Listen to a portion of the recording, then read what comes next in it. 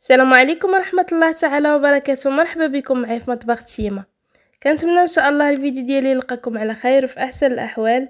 ودائما مع الوصفات السهلة والاقتصادية غادي نقترح لكم اليوم إن شاء الله فطائر سهلة في المقلاة بشكل جديد وعجين سحري بدون دلك بدون زبدة وأيضا بدون خميرة نهائيا. بحوسه لذيذه بزاف اقتصادية بلا لحوم.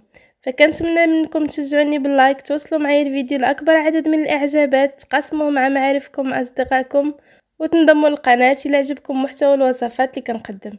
خليكم مع المقادير طريقة التحضير فرجة ممتعة. فكنبداو بسم الله بمكونات العجين اللي هي بسيطة جدا. كنحتاجو لخمسة الكؤوس ديال العنبة من الدقيق الأبيض ما يعادل 500 غرام اللي هو فرينة بالنسبة للأخوات اللي في الجزائر. كنضيف عليه ملعقة صغيرة من الملح ملعقة كبيرة من زيت المائدة وكنبقى كنجمع بالماء العادي ماء بارد ما يكونش ماء دافئ. كنبقى كنضيف الماء تدريجيا وأنا كنجمع العجين حتى نحصل على عجين اللي هو لين ويكون قابض في راسه بالنسبة لكميه الماء اللي دخلت أنا فأنا دخلت كأس مملوء ديال العنبة يعني 200 مليلتر وكأس إلا ربع يعني 180 مليلتر المجموع 380 ولكن كيف كنقول لكم ما تضيفوش دفعة واحدة باش ما يجراش لكم العجين وتبقاو كتضيفوا الدقيق. ملي كنحصل على عجين بهذا الشكل هذا أنا ما غاديش ندلكو كيف ما كندير معكم دائما. غادي نجمعو على هذا الشكل هذا وغادي ندهنو بواحد الدهنة خفيفة ديال الزيت ونديرو في البلاستيك على ما نوجد الحشوة. ملي كتكملوا الحشوة راه كيكون طلق راسو ممكن نديروه في علبة محكمة الاغلاق أو ديروه في طنجره ديال الضغط. وبالنسبة لي أنا دائما فهاد العجين كيبقى عندي هو الأساس وكنشكل به مجموعة من المسائل سواء نخدم به البساطل أو كنخدم به المورقات وكذلك كنخدم به حتى بحال هكا الفطائر. يعني كتبقى عجينة أساس والاختلاف كيبقى في الطريقة ديال كيفاش غنطلقها وغادي نخدمو بها. المهم غنخلي جانبا يتطلق كندوز الحشوة. بالنسبة للحشوة فغادي نحتاجو الحبه كبيرة من البصل. حبة من ديال الفلفل الألوان من كل لون ممكن ديروا غير لون واحد على حسب الرغبة ديالكم واللي متوفر عندكم. كنديرهم في مقلاة على النار اللي هي هادئة. كنضيف عليهم واحد جوج معالق كبار من زيت الزيتون كنضيف أيضا الملح. الملح دائما راه كيبقى على حسب الذوق. وغادي نضيف واحد الرشة ديال الزعتر آه، اليابس. الناس اللي ما متوفرش ليهم ممكن تعوضوه بأي نوع ديال الأعشاب المنسمه اللي عندكم. كنضيف نفس ملعقة صغيرة من الفلفل الأسود. وغادي نخلط هاد المكونات جيدا مع بعضياتها حتى تنسجم مزيان ضروري ما نمزجوهم باش هكا يتلبسوا لنا كلهم بالزيت. نخفضوا النار النار اللي هي مهيلة. وكنغطيو على الإناء ونخليوه بحال هكا يرجع عليه العرق ديالو الصهد ديالو. وينضج ليه هذاك البصل يولي اللون ديالو شفاف وأيضا الفلفل. من بعد ما كنحصل عليهم بهذا الشكل هذا كيف كتشوفوا ضروري مرة مرة نحركوهم. أنا كنعطيو هاد النصائح فقط للمبتدئات.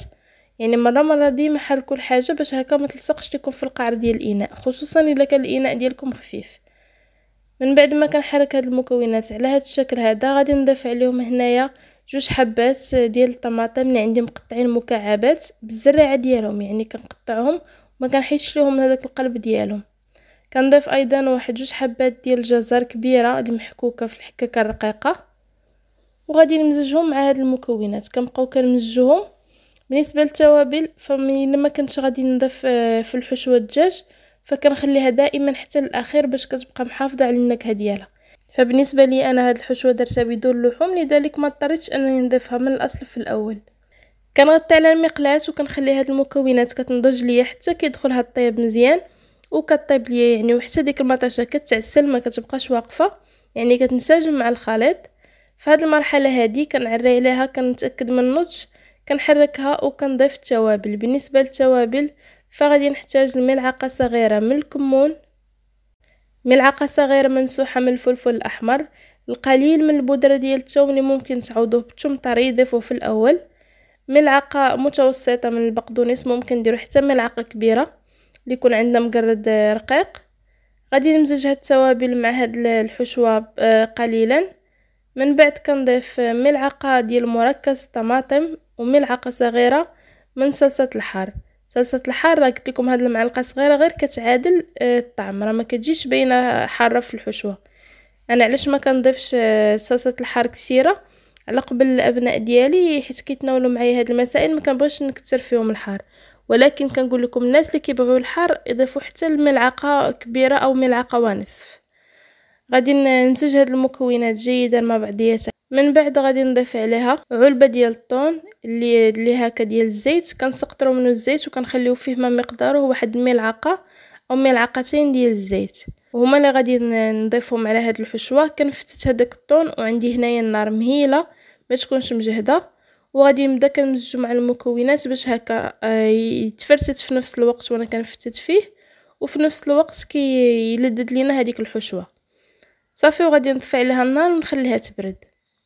كنرجع للعجين. بالنسبة للعجين كيف كتشوفوا راه كيبقى في البلاستيك راه كيتدلك راسو حنا ما عندناش بيه الغرض يكون يعني مرخوف بزاف لأننا غنطلقوه بالدلاك فكنبدا كنشكلو على شكل كريات الحجم دائما ديال الكريات كيبقى على حسب المقلاد ديالكم. أنا شكلته على كريات بهذا الحجم هذا ومن بعد عاود نقص منهم باش قاديتهم. كنحاول نقاد لهم الملمس ديالهم يكون كروي. كنجيب واحد الصحن كنرش فيه بحال هكا الدقيق. كنوضع هاد القطع ونغلف عليهم بالبلاستيك. ناخد أول كره شكلتها ونبدا كنورق فيها. كنبدا بالاستعانة بالدقيق فقط. الناس اللي كيبغيو يديروا النشا ما غاديش تحتاجوا ليه في هذه المرحلة هذه لأننا ماشي غادي نورقوهم باش يطيبوا في الفران. كنبقى كنطلق غير بالدقيق بهذه الطريقة هذه دائما نتوما كتدفعوا الجوانب والوسط. حتى كنرقوها بواحد السمك معين. ما ديروهاش رقيقة بزاف باش هكا ما تغلبكمش خصوصا المبتدئات. كنورق بهذا الشكل هذا. من بعد ما كنورقها رقيقة كنوضعها أنا هنايا في واحد الصحن وكنرش ليهم ما بيناتهم الدقيق. كنعاود نكرر نفس العملية نطلق كرة أخرى. بالنسبة للأخوات اللي مبتدئات ف آه، حاولوا أنكم تطلقوا واحد ثلاثة الكرات وتشكلوهم فيما بعد كيف ما غنوريكم. وتوضعوهم في واحد الصحن عاد باش تكملوا باش هكا ما يلتصقوش ليكم إلا حطيتوهم على بعضياتهم وكانت يديكم ثقيله في التشكيل. غادي نطلقهم بهذا الشكل هذا كيف كتشوفوا. من بعد ما كنطلقهم بسمك اللي هو رقيق أنا دائما درت حدايا واحد الصحن كنرش الدقيق ما بين كل طبقة وكنحط الطبقه الأخرى. أنا غادي ناخذ أول كرة طلقتها كنوضعها فوق سطح العمل كنقسمها بالجراره ديال البيتزا على جوج. كندير واحد الكمية من الحشوة في الجانب بهذا الشكل هذا وكندير أيضا كمية ديال الحشوة في الجانب المقابل. كنحاول نسويها ونديها للجوانب ونخلي واحد المساحة في الجانب اللي ما تكونش عامرة. كندير عليها الجبن وممكن تعوضوه بالجبن الكريمي ديال القطع. كديروا واحد القطعة ديال الجبن في فوق الحشوة. من بعد كنبدا كنطويها بهذا الشكل هذا. كنطويها بشكل في مثلث ومن بعد كنجيب الطرف المقابل لعندها وكنحيد الحاشية باش هكا كتلتصق على بعضياتها. باش تجيني مقفولة من الأسفل وما تخرجش ليا الحشوة. الناس اللي يرشوا الدقيق بزاف يدهنوا الأسفل بالقليل من الماء باش يلتصق العجين على بعضياته. من بعد كنعاود نكرر نفس العملية مع الجهة الأخرى. دائما كنهزو بحال هكا بشكل مثلث ومن بعد كنجيبو الجهة المقابلة. كنحاولوا نلحموا العجين راه كيلتحم على على بعضياته صافي وغادي نقطعوا هذاك البواقي ديال العجين. في الاخير غتجمعوهم وغتعاودوا تشكلوا بهم كرة آه، وديروا بها نفس المسألة اللي درنا دابا. كنرش واحد المكان بالدقيق وكنوضع القطع بهذا الشكل هذا. لهاد العجين هذا راه ملي كيبقى عندكم في الصحن راه كيبدا كيترخف. لذلك كنقول الاخوات يعني اللي يديهم ثقيلة بحال هكا في التشكيل فغادي مثلا تطلقوا جوج كرات أو ثلاثة كتشكلوهم بحال هكا بشكل مثلث. رشوا بالدقيق أو رشوا بالسميد الناس اللي كيبغيو الحاجة تجي بحال هكا مرملة في العضة. رشوا بالسميد وعاد باش آه، ديروا القطع الأخرى ديال العجين. باش هكا تجيكم القضية سهلة وما يغلبكمش العجينة. من بعد كيف كتشوفوا هنايا كنعاود نكرر نفس العملية كناخذ قطعة أخرى. كنقطع بحال هكا بالجرارة ديال البيتزا الطرف المقابل كنحاول نسويها كنجيب الحشوة كنديرها في هذوك الجوانب. كنديرها في هذا الجانب هذا وكنديرها في الجانب المقابل. بالنسبة للحشوة فحاولوا تمشيو حتى القنت مثلا ديال ديال المثلث ولكن ما تمشيوش للجناب لأن الجناب آه غادي إلا قصتم الحشوة ما غاديش يلتصقوا لينا. من بعد كندير القليل من الجبن من الأعلى ديالهم. وكنبدا كنلفها بهاد الطريقة هادي. غير ضغطوا عليها باش تلتصق فوق العجين راه ماشي مشكل. كتجي مقادة وكتجي مساوية. كنبقى كنمشي بها الطرف هذا الجهة المقابلة. ونعاود نكرر نفس العملية مع الشريط الثاني. كتجي الطريقة اللي هي سهلة كيف قلت لكم وكيجي الشكل ديالهم جميل. وعاوتاني الشكل مختلف باش نقدموه في المائدة ديال الإفطار. غادي نكمل الكمية ديالي كلها بنفس الطريقة وكندوز المقلاة هنا باش نطيبهم.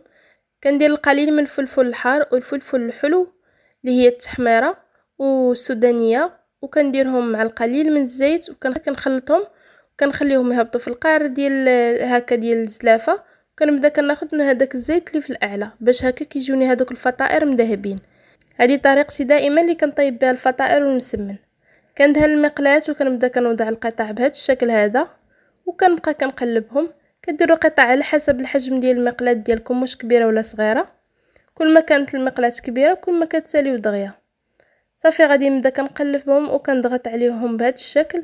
كيبداو كيتنفخوا كيتورقوا ملي كنقلبهم على الجهة المقابلة كنعاود ندهنهم حتى هما بحال هكا بالزيت. ودائما هزوا غير من الجهة الفوقانية باش ما تهزوش الفلفله حمراء اللي هي التحمارة وتحرق لكم في المقلة.